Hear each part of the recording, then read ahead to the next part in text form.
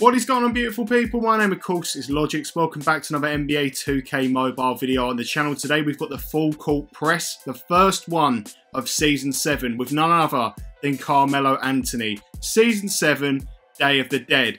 If you are new to the channel, I recommend subscribing. If you do enjoy the video, leave a like. It does help me out. And of course, comment your thoughts down below. I'm very excited for this one. Unfortunately, we had issues with the camera quality. They all messed up, and here we are now, no camera for it. But hey, we're still going to have some audio nevertheless. I'm very excited, and uh, yeah, today was a very good one. I'm very happy with it. If you missed my previous pack opening video, it was for the Day of the Dead individual packs, which have just dropped. We had some good luck over there, so go check it out. But of course, a big shout out to 2K for making this one happen. As you can see, we're in round one here.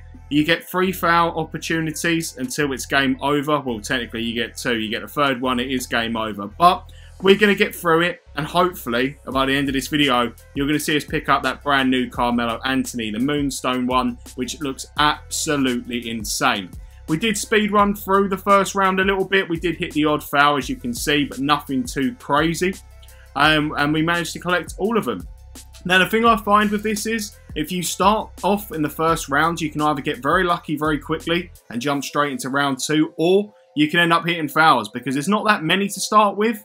But of course, if you don't click it and time it right, you're going to end up hitting the fouls quite often. So we had a good run so far. We got round to round three, pardon the puns there. But uh, yeah, it wasn't too bad. Now, what I like about this full court press is it's completely theme-based. You have got some old school cards from previous themes in the previous season, but there is, of course, the main cards to collect, which are all Day of the Dead. And we did get lucky along the way, so hopefully we're going to showcase this quite well. I'm a bit gutted that I couldn't do face, uh, face cam on this one, but, you know, these things do happen from time to time. It's not all glitz and glamour, and not everything always goes to plan. But we managed to do quite well here, I believe. Yeah, we ended up hitting round five very, very quickly, as you can see.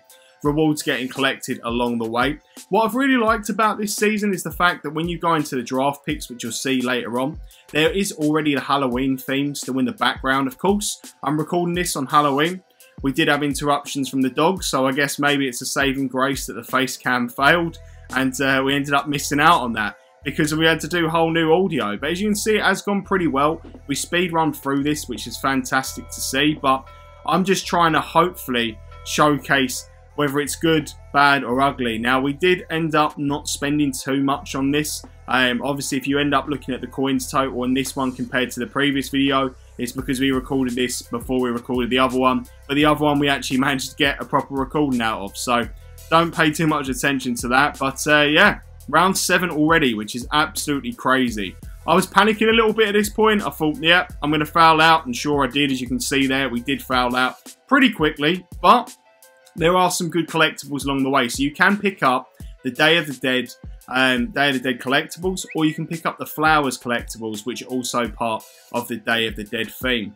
And uh, yeah, surprisingly, we ended up picking up a fair few players. I was surprised because usually when I do these full court presses, I, I end up picking up the collectibles and uh, I do miss out on a lot of players along the way. But we did foul out there.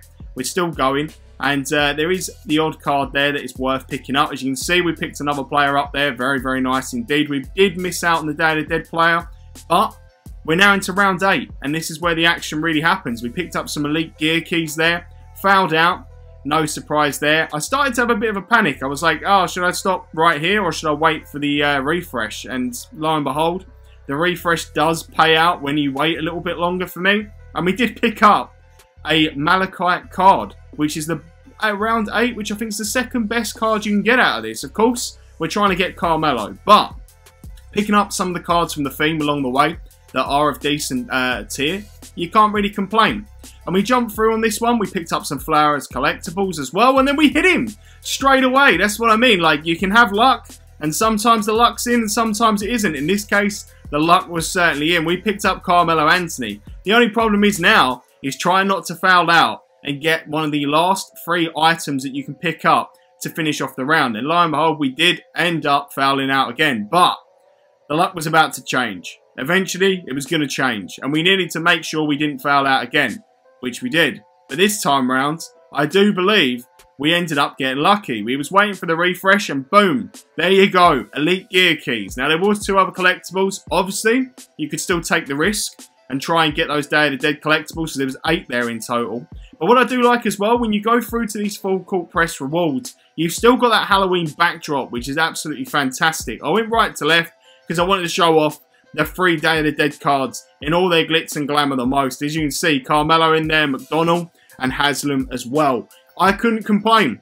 It was a very, very good full court press. And we did get some other good players along the way as well. Obviously, the tiers are not as high anymore, but it was a very, very profitable, or should I say, worthy, a worthy full court press for what we ended up picking up. We got a lot of elite gear keys, standard gear keys, and draft picks. And as you can see, 25 flowers there as well. And as this is what I was talking about, by the way. The draft picks is super cool. I like how you've got the opportunity to sort of theme them. Uh, it makes a nice change. I remember last season we didn't really see any theme switches, especially when you go into things like draft picks or whatever it may be. But overall, ladies and gentlemen, we absolutely smashed it. Carmelo Anthony is now ours, and I couldn't be happier. If you enjoyed, leave a like, subscribe. I'll catch you in the next one. Ta-ta, adios, bye-bye.